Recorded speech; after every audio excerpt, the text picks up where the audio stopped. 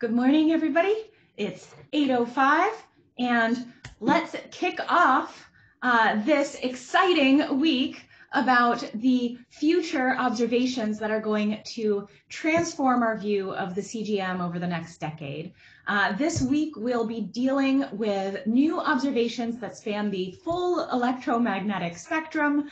Uh, this is a forward-looking week and one in which we hope both observers and theorists will work together to identify how upcoming observables will translate into much needed physical constraints. Um, and so I personally think that this is going to be the best week yet of the workshop. Uh, and we've had some pretty amazing weeks so far. So the bar is already very high. Um, okay, so uh, just a few announcements before we get going. Uh, please join Halo 21 Week 8 Future OBS. That's the channel on the Slack. Uh, where we will put most of the discussion information this week and substantive comments.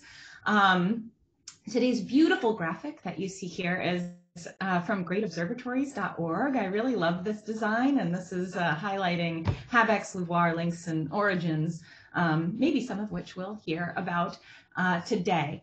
Okay, so a couple announcements, like I said. Uh, in the spirit of a workshop photo, we're going to, on Tuesday, arrange for uh, everybody to come with their, you know, best collared shirts and you know combed hair. And we'll uh, take a screenshot of everybody's zoom video in gallery mode um, and i'll try to put it together into a lovely workshop photo that highlights everybody who's uh, participating at least on tuesday um, and what you can see here is uh, friday last week friday if you weren't here we had a hat day uh, which Ben organized, a casual Friday hat day. And uh, this picture was posted in Halo 21 Beauty. Uh, so anyway, right after um, Chris Martin's keynote talk on Tuesday, right after the break, uh, we'll come back and we'll do uh, a full group workshop photo uh, on Zoom. It'll be really fun. Okay, so a couple other things. Today, uh, on Mondays, we've gotten used to speed collaboration, but today we're going to do something different. Um, we're going to do a structured discussion that highlights 10 observational domains. Uh, and so I'll, I'll give you all the details on that in just a minute. Uh, there are a couple other channels I want to highlight. Uh, one is Halo 21-Legacy. Um, this is a channel where we're talking about how to extend the impact of the KITP Halo 21 program beyond this week. Um, and so if you'd like to be part of the conversation, please join that channel um, so you can contribute. Also, uh, I don't have an, an, official announcement yet, but um, we're thinking about doing some kind of informal uh, night on a kind of gather town or room like platform where we get together and and drink to celebrate the end of the conference. Um, so uh, we'll, we'll announce details later in the week, but head over to Halo 21 Socializing uh, if you're interested in, uh, in that. And then also, um, I wanted to mention that uh, Cameron posted a note in Halo 21 announcements that he's going to um, put all of the keynotes and tutorials on the YouTube channel that we've been using for new results uh, to highlight uh, people on the market uh, and soon to highlight some new instruments. We're just going to try to collect all of the videos in, in one place where they're going to be accessible, um, you know, for, for a long time. This is part of our legacy. Um, we just didn't, uh, they've already been recorded. They're already on the web, but if for whatever reason you're uncomfortable with this, um, please just uh, just let us know. I just wanted to highlight uh, a couple new results, our new results channel. Uh, one of the highlights of this workshop has been the new results videos featured on Slack and on YouTube. These are 51 now. We have 51 high quality new results video, all of them four to five minutes in length and it's really impressive what people have put together. It's an incredible way to consume the kind of uh, new results that have come out in the last year. Our YouTube channel has 87 subscribers, and our top viewed video by Ranita Jana and Manami Roy, How Much Cosmic Rays Can Be Packed in the Milky Way CGM, has gone viral. It has 307 views. Wow. Uh, and I just want to highlight uh, Nikki Nielsen uploaded a new video this weekend uh, on on spatially resolved CGM emission uh, around a nearby star uh, starbursting galaxy with uh, Duvet. This is a new survey. There's also another video that I just saw that was uploaded um, either late last night or this morning. I'll highlight that later this week. Um, but lots of cool results coming out from the Duvet team. So go check it out, new results. Okay, so this week, uh, Tuesday, we have a, an excellent keynote to look forward to by uh, Professor Christopher Martin. Uh, that'll be in the first hour of our uh, Tuesday, followed by a panel discussion uh, featuring Joe Burchett, uh, Crystal Martin, Chuck Steidel, and Sarah Tuttle. And I just said Joe Burchett, but I meant Joe Burchett. Gosh, sorry, Joe. Um, on Wednesday, we have three excellent tutorials lined up for you. Uh, Edmund will kick us off uh, telling us about X-ray imaging and spectroscopy mission, the new Hitomi, which focuses on soft X-rays. Um, turns out all of the results and data from the three Illustris TNG simulation volumes are publicly available, and Dylan Nelson himself will walk us through some online tools for exploration and analysis of that data that anybody can use.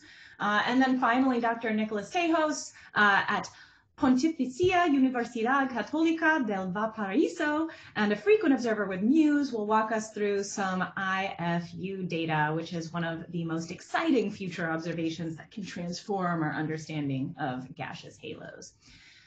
Thursday, we will cap off our keynote uh, speakers with two incredible uh, talks. Uh, first by Dr. Aurora Simionescu, and next by Dr. Nick Battaglia. Uh, the organizers could not decide between new X-ray missions and the upcoming SZ effect focused observatories, which would be more transformative. So both are giving keynote presentations uh, followed by uh, an exciting panel discussion featuring Dr. Alexei uh, and Dr. Rachel Somerville, Dr. Edmund Hodges Kluck, and Dr. Colin Hill. All right, and uh, today, coming up today, right after our featured conversations, uh, we will have an observational domains structured discussion. So what's going to happen is after the uh, featured conversations, which I'll introduce in just a minute, uh, present in our second hour today, we'll take a slight break and then we'll go into our second hour where I will create 10 breakout rooms. Each has one to two leaders who volunteered on the channel Halo 21-OBS domains and we have 10 rooms, absorption line studies in the UV optical, emission studies, UV optical, X-ray, both emission and absorption, fast radio bursts, SZ effect, radio, polarization, gravitational lensing, infrared, and gamma rays. Wow, lots of observational domains here. We're hoping to have one to two leaders per room with people just kind of self selecting which room they go into. So you'll have a choice. You can just go into any of these breakout rooms, uh, especially if you're a theorist and you don't particularly have an expertise, you want to learn about gamma rays, go into the gamma ray room. Um, and the goal of this discussion will be to identify and clarify the measurable quantities uh, relevant to the CGM that we will be able to constrain in each of these domains over the next decade. We'll come back after 20 or 30, 20 to 30 minutes in the rooms, uh, depending on how the timing goes, and uh, we'll share out what we think are the most exciting things that we discussed in these breakout rooms. So stay tuned for that. But first up, uh, I'm very excited to introduce this week's featured conversations. Um, and so we'll have uh, Halo 21 emission, which has been initiated by Claudia.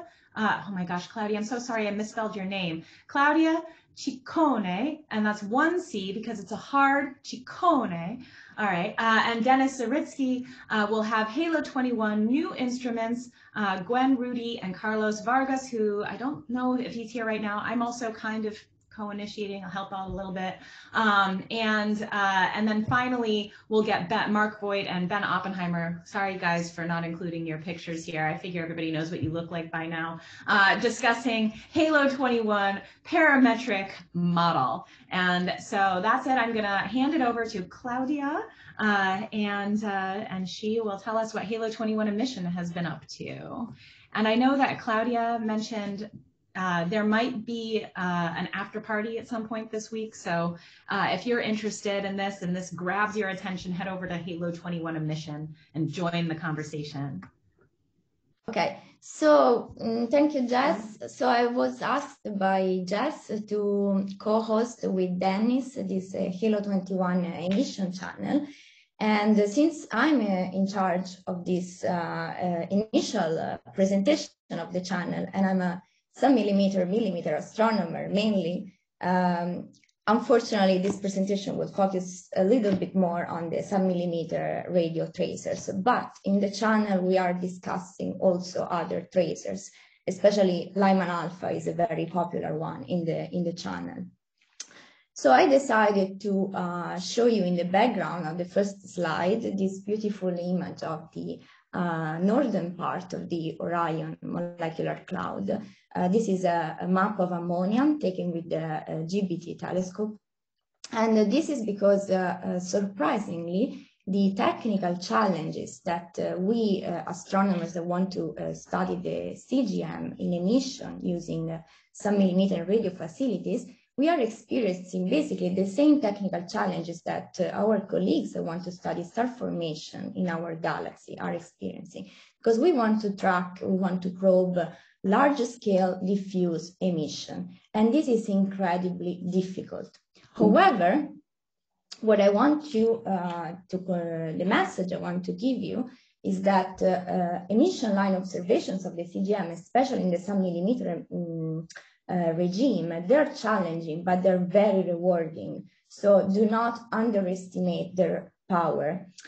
And I know that traditionally it is believed that the CGM is uh, challenging to observe in emission because it's a diffuse, rarefied medium, and it's hard to detect the emission. However, maybe uh, we don't know that much about the CGM. So maybe it's not so uh, rarefied and diffuse.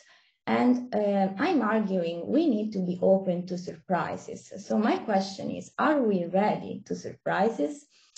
And uh, uh, I had the chance to uh, test a little bit the audience here with this survey that uh, I did a few, a couple of weeks ago in the channel, where I, I the, the, survey was focused mainly on uh, on, on the molecular CGM. And there was a question, I, I want to go through all the questions of the survey, but you can find the results in the channel. So this question was, uh, uh, is there molecular gas at uh, um, distances above 20 kiloparsec in galaxies? It's a very generic question, okay? But I was surprised to see that only 8 out of 20 uh, people so 40% believe that there is molecular gas um, uh, at distances beyond 20 kiloparsec in galaxies. And if we include the maybe, we go up to 85%. And this is quite surprising for me. And I will show you why. So we do observe molecular gas above on scales of, uh, you know, tens of kiloparsecs in galaxies. Um, we don't have many observations, but we do have some really exceptional results. So this is uh, one of my favorite ones. So This is a um, quasar redshift 6.4 uh, that was observed in C uh, by us uh, now six years ago. And we detected, uh, so C plus, the C plus emission line at uh, 158 micron is tracing a combination of gas phases. It's tracing molecular gas and atomic gas and a little bit of ionized gas. We don't know the proportion of uh, the contribution of the different phases, but we know that it's cold gas, okay, mainly. And in this quasar, redshift 6.4, this is an isolated quasar, no companions, C plus extends at least up to 30 kiloparsecs from the center. And you see these beautiful uh, uh, structures. Uh, most of them are due to a very, very powerful outflow, which uh, uh, has velocities up to uh, 2000 kilometers per second, and is still up to now the most extended cold outflow ever detected. Uh, uh, but a large fraction of this extended emission is actually uh, due to gas that is quiescent at low velocity. And there is only 30% of this quiescent gas at low velocities is actually in a compact source. And we can tell this because these are interferometric observations. So if you're interested, there are more details in the paper, but we can tell exactly what is in a compact and what is an extended source. Then another source, this is a star forming galaxy. Sorry, Jess, I think I have you up here. Okay, I don't know if people can see the, um, my screen uh, because I have just, yeah. So uh, this is another star-forming galaxy uh, in the Goods South field, very massive, observed with ALMA uh, in CO and um, Ginolfi and collaborators detected a 40 kiloparsec size CO structure, okay, around this galaxy. Redshift 3.5. No sign of rotation this time, no sign of, no sign of outflow. This CO reservoir is actually quiescent, low velocity, low dispersion, and there is also associated far infrared continuum. It is not associated with the galaxies. This galaxy has uh, two companions, but the source is actually diffuse gas. At least 60% of it is not in the galaxies. The mass is huge, it's between 2 and 6, 10 to the 11 solar masses of molecular gas. And it is in the uh, diffuse CGM, uh, IGM medium, and this is believed to be a protocluster. I'll go a little bit fast on these results, but uh, just you know, to show you. Maybe some of them you know already, but uh, I haven't seen them mentioned uh, so far in the in the workshop. This is the spiderweb galaxy, a famous protocluster Redshift 2.2. By the way, it's embedded in the very uh, extended Lyman Alpha Nebula. This was a beautiful result by Bjorn Emonts and collaborators 90 hours on source with the uh, ATCA telescope, this is an interferometric observation, detected uh, this uh, huge 70 kiloparsec size molecular gas uh, emission, okay? At least 30% of it is not associated with galaxies. Again, it's actually in between the galaxies, low velocity dispersion, and uh, the mass is uh, about 10 to the 11 solar masses. And it has been estimated that this molecular gas mass can sustain star formation in the spider web up to redshift 1.6. Then, these are all high redshift observations. So you may ask about why we don't observe anything locally at low redshift. Because it is more challenging, because we uh, are limited in, uh, in, uh, in terms of spatial scales that we can probe. However, we do have indication at low redshift that molecular gas extends on very extended scales. And for example, we have indication, very, very uh, strong constraints on the uh, class of uh, ULIRGs, so local galaxy mergers that are very luminous in the infrared. Uh, they show very massive extreme molecular outflows. Okay, now we have samples of tens, several tens of sources.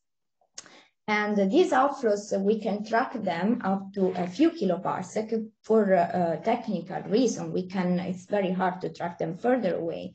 But this is one of those examples. This is NGC 6240, merger dual AGN.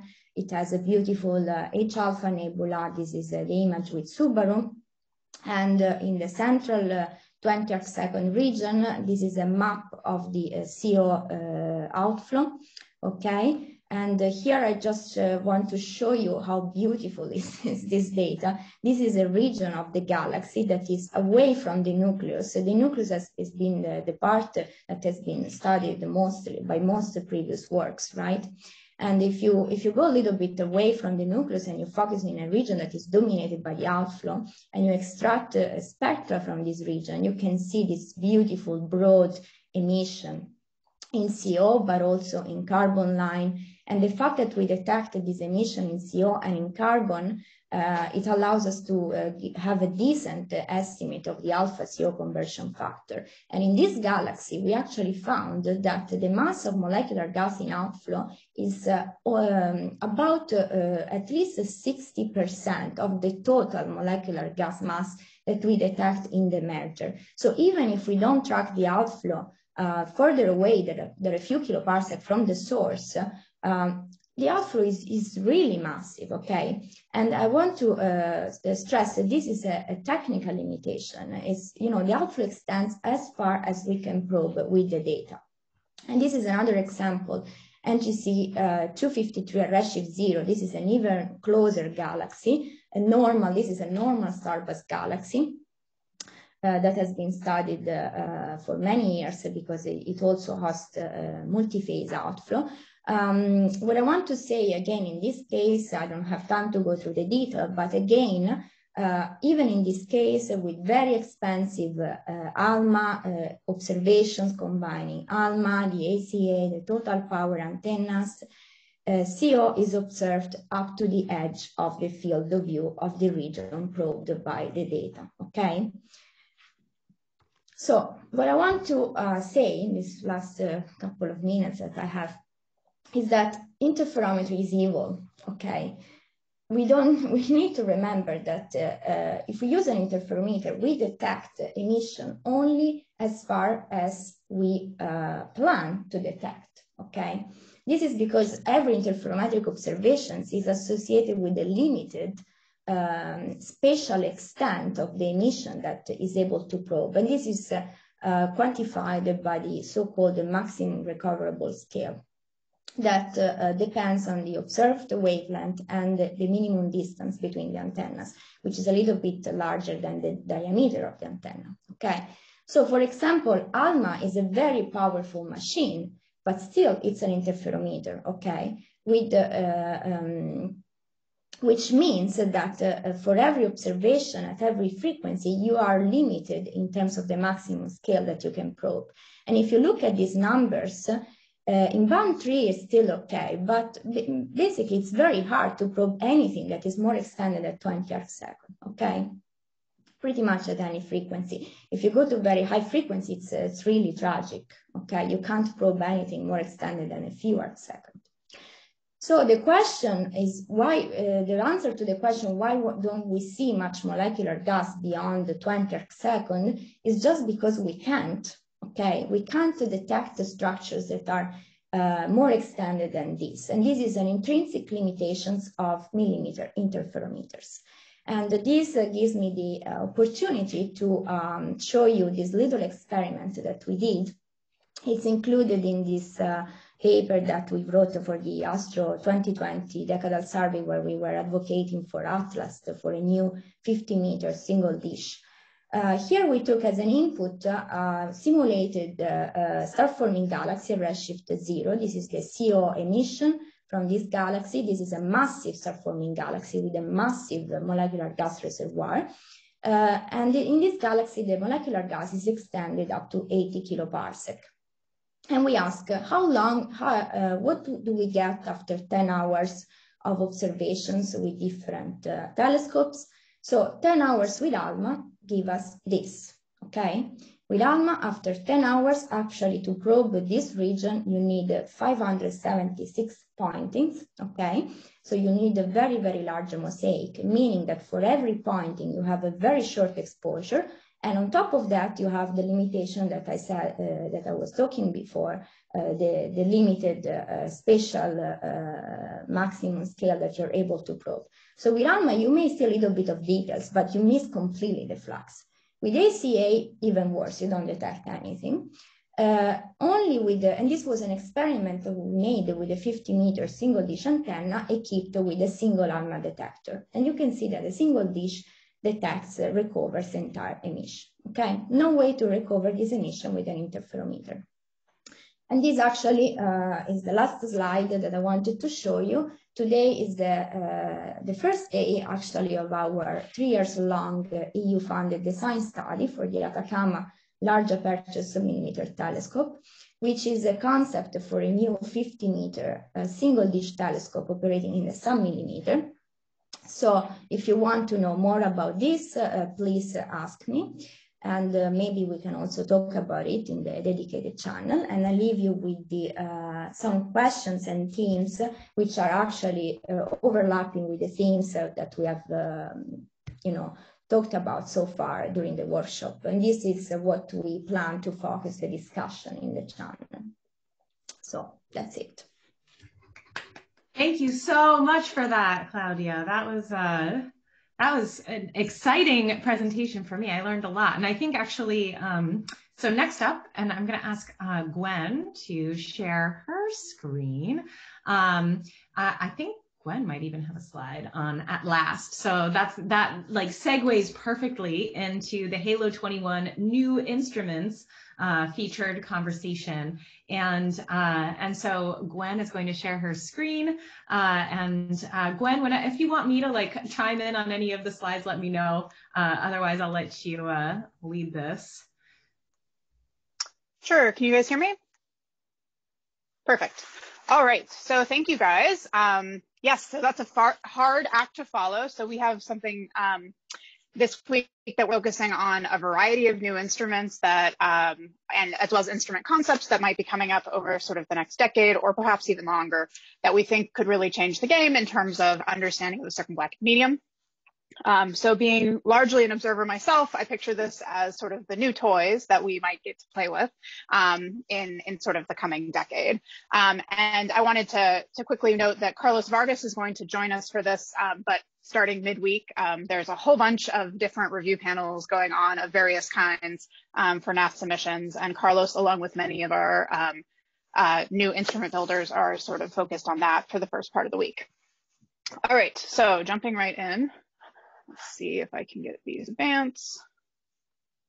Okay, so a teaser, just a handful of the instruments that uh, we'll be talking about this week, but there are many more, and I'm hoping to get volunteers from other instruments and instrument concepts uh, to join in the discussion. All right, so Carlos will join us. As I mentioned, he is the PI of a newly funded um, small space telescope, part of the NASA front, uh, excuse me, NASA Astrophysics Pioneers um, category that is designed to map the warm hot gas content of nearby galaxies. This is a mission called Aspera. Um, so very exciting. This uh, is, as, as I understand it, is funded. So it's will have um, in the coming years. So I would definitely invite you to come uh, hear a little bit more about it later this week. Um, this is a project that's very dear to my heart. This is MIRMOS. It's um, the Magellan Infrared Multi-Object Spectrograph. Uh, this is a an instrument concept for Magellan um, that is led by Nick Konidaris. I'm one of the project scientists for this. Um, so this is a large multi-object near-infrared spectrograph that gets simultaneous YJ, H, and K spectroscopy all in one single shot.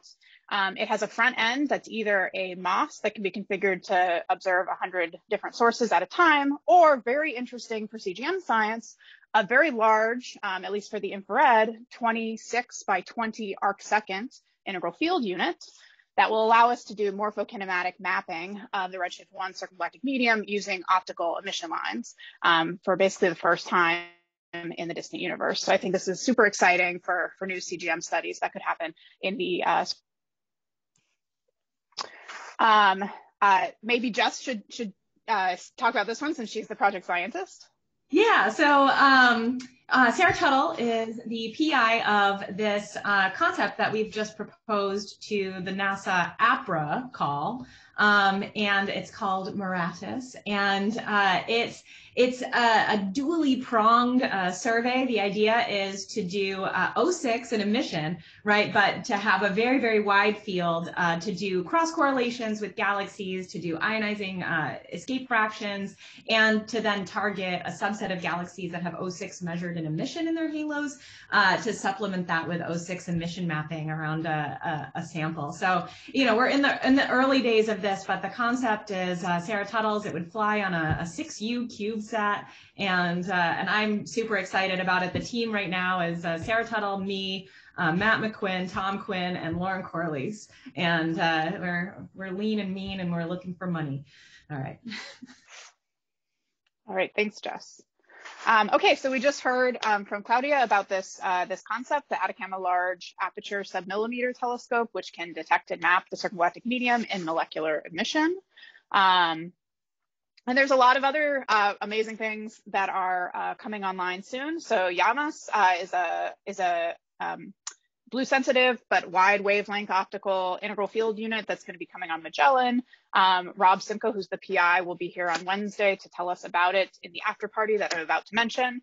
Um, but there's a lot of other uh, amazing instruments um, coming that um, I'm hoping to have people join us on Wednesday to discuss, including uh, the blue half of MUSE, um, the Roman Space Telescope, which could be very useful for CGM science, ESO HiRes, which Jess has added very helpfully, not to be confused with Keck HiRes, um, uh, the Cosmic Web Explorer. Perhaps someone can join us to tell us about LUVOIR. Um, there's so many new ideas coming online um, that should be very, very exciting for CGM science.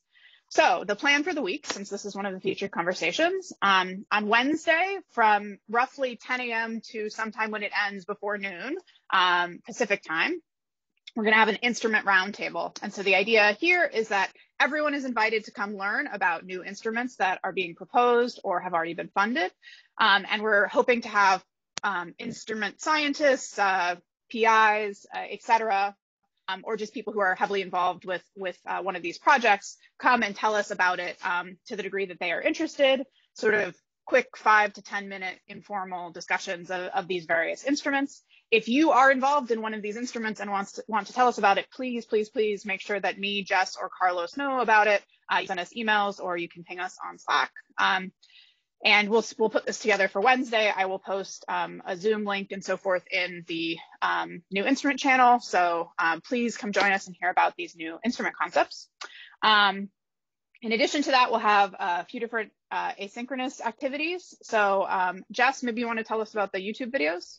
Yeah, so one of the ideas that we're hoping to get off the ground is, uh, and, and it looks like actually, uh, I just saw uh, Randall Smith uh, made a video on Arcus, actually, a soft X-ray grating explorer. Um, but these are, I, I, you know, the new instrument builders that we have on the channel are really strongly encouraged to create short videos.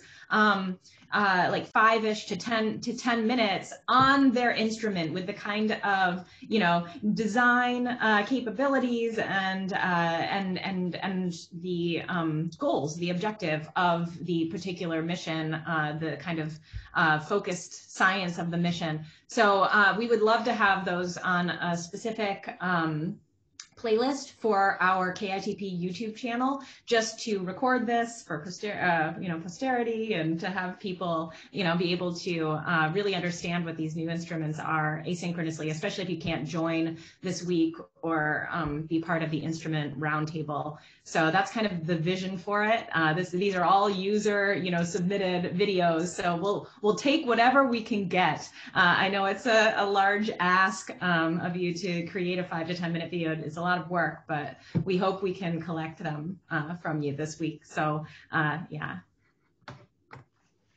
Perfect, thank you.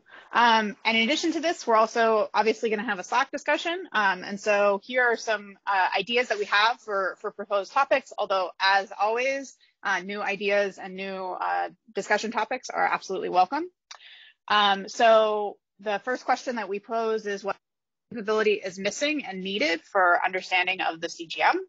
Um, I also thought it would be uh, useful to have another conversation that's a little bit um, higher level, which is how do we organize as a community to find funding or support for new instruments or missions that we feel our field particularly needs. Um, you know, the funding climate for instrumentation is not trivial right now.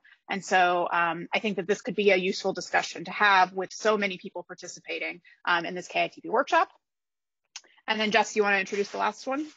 Sure. And this actually is a nice segue into the next featured conversation, too, where we've got Mark and Ben introducing this idea of uh, a Santa Barbara CGM parametric model, uh, where they've tried to define all of the relevant physical parameters that kind of govern uh, the physics of the circumgalactic medium. And so in the interest of the new instruments uh, group getting involved with the parametric model group of the parameters that they'll talk about, which of those parameters have the best chance at, which of those parameters do we have the best chances of actually pinning down uh, in the next decade? And I'm really curious to hear what, uh, what people think about that.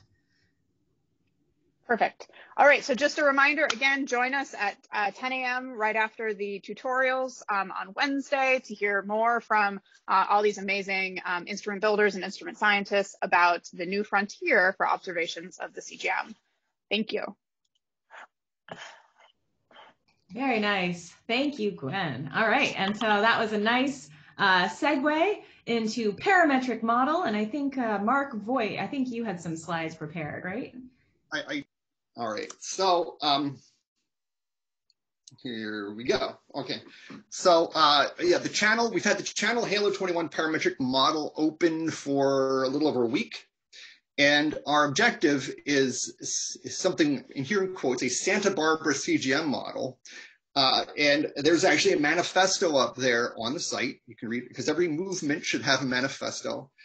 Um, and we're not trying to take over the world. What we're trying to do is get broad-based community input on a, a, a pretty vanilla generic parametric model describing the CGM so we can um, use multiple kinds of observations and multiple kinds of models uh, uh, to leverage a, a, better joint understanding of what's going on in the CGM.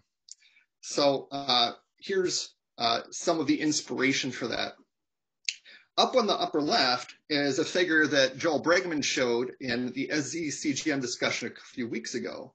And what it shows is a joint um, resolved YSZ profile for local galaxies where they're, they're huge on the sky. And so you can use Planck to uh, get a resolved pressure profile essentially for uh, uh 11 local galaxies. Um, below it is uh, a collection of constraints on the Milky Way's hot atmosphere from X-ray absorption and emission and ram pressure stripping and uh, also uh, dispersion measure to the LMC. And so there's a bunch of uh, constraints there that are in the neighborhood of one another. Uh, and uh, if we want to kind of get, get, get their combined power to constrain the Milky Way CGM, we need a parametric model to do that. On the upper right is a collection of constraints on the pressure profile uh, around uh, galaxies that have been observed with COS. So the UV absorption lines give you an opportunity to estimate pressures using photoionization modeling. And uh, one of the things you can see in the top panel of that, if you if you have really great eyes and can make out all the fine print, is uh, the pressures at any given radius are dependent on halo mass not really surprising that you would have higher pressures in, in halos that are more massive. And when you try to take out that halo mass dependence, uh, those points converge onto a more universal pressure profile. Uh, what was interesting is taking that universal pressure profile and trying to overlay it on Joel Bregman's results uh, from, from his group. And it looks like there's pretty good agreement, at least, you know, as far as agreement you can get by drawing lines with Keynote on other people's plots. um, yeah, we, we want to do a little better than that. Um, also, uh, if you look in the lower right, that's a plot made by taking the Milky Way constraints and trying to overlay them on the pressure profile constraints. Uh, so, so there seems to be some convergence possible by taking a lot of different observations from different wavelengths and combining them to get joint constraining power. Um, you can also, we also would like to compare analytic models with simulations. We've heard a lot about, you know, which, what's the best analytic description of what we're seeing in simulations. This is just a, a bunch of lines on a plot showing uh, some analytic models and some simulations that show, uh, you know, they're, they're, close to describing similar things, but uh, what's the basis for intercomparing them? So uh, this, okay, and I need to make a disclaimer. Um, this is completely a drawing. There's no science whatsoever, no data whatsoever, no models whatsoever in the diagram. It's just a bunch of wishful thinking, okay? But the point is to show that uh, a lot of these observables constrain the CGM in different ways. So if we can um, have a, a description that applies to all of them that's parametric, then we can get better leverage on the description of the CGM than we can get from any single approach. And so uh, this is like a, a parallel to the conversations we're having this week about observational approaches, uh, is how do we now combine them? And if we have uh, a joint community description that's you know kind of theory neutral, it will also help show how the different missions we want to propose are complementary. Uh, now, I, have kind of framed this discussion in terms of uh, a pressure model, but we've also heard a lot about how the CGM is multi-phase. Uh, and if we're going to understand how the phases relate to each other, Mark, using... can I interrupt you for one second? Your um, color palette is showing and it's blocking some of your slides. Oh, weird. And it's not it's not shown on my own slides. so maybe it's if I horrible. I just noticed it was blocking some of that figure. So. think. Right. How about now? Oh, perfect. Good job. Okay. All right. Um, yes. So, so you've seen that my favorite color palette is Spartan green, probably go green. Um, okay, so uh, so uh, we've heard that maybe uh, at the high temperature end, maybe things are log normal. At the low temperature end, they are uh, determined by photoionization. And there's this intermediate temperature stuff that we love to get better handle on. Okay, uh, how can we combine different kinds of constraints to understand it? Uh, also, we've heard a lot about non-thermal pressure support. And I, have I've cribbed a figure from Ben Oppenheimer, a really uh, influential my thinking paper about uh, how all the different kinds of non-thermal pressure support show up in simulations and how they depend on radius. Um, this kind of thing has been uh, ha has some heritage also in galaxy cluster uh, observations and modeling. And here's a paper from Erwin Lau and collaborators. So we want to also be able to describe that. And, and here's the key. We want to be able to do it in a way that's generic enough that uh, a broad swath of the community would like to participate, not, not favoring any particular point of view, but one that is, is fairly generic so we can you know, jointly cooperate. So the conversation has already started, but this week it will be featured. I'm putting together right now an after party that's going to be tomorrow, uh, 12 p.m. Pacific. And I think it's obvious that uh, the more people who are involved and offering opinions and critiques, uh, the, the, more useful this effort is going to be because uh, you know it, its usefulness is is directly proportional to, or maybe even a, a nonlinear function of the number of people who who see that their um, their ideas have been incorporated. Um, so we invite as many people who want to participate into that conversation and, and look forward to a future in which we can really uh, combine the strengths of all the things that we're going to be talking about this week. I will now cede the floor back to Jess.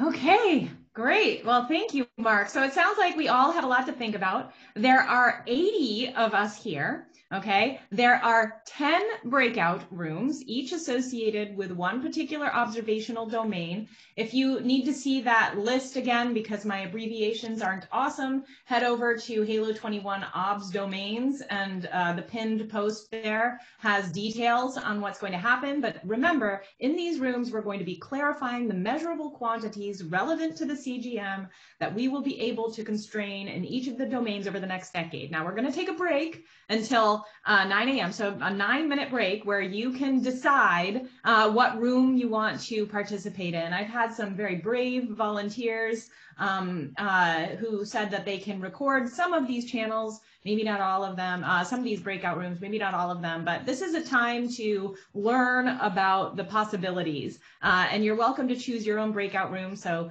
think carefully. Um, it would be really nice if we had some semblance of balance uh, between the rooms. I'm not going to mandate that each room have the same number of people, but um, you know, if you go into a room where there's like 12 people and you see that there's a room with one person, you want to be the brave soul who who goes to, you know, that less traveled path uh, and and and joins the exciting room where few people have dared to go. Um, you know, uh, please do so. So okay, so let's take a break, an eight minute break. When we come back, we will self organize into our rooms on the 10 observational domains. I'm happy to answer any questions before we do that. And uh, yeah, see you in a minute or eight minutes.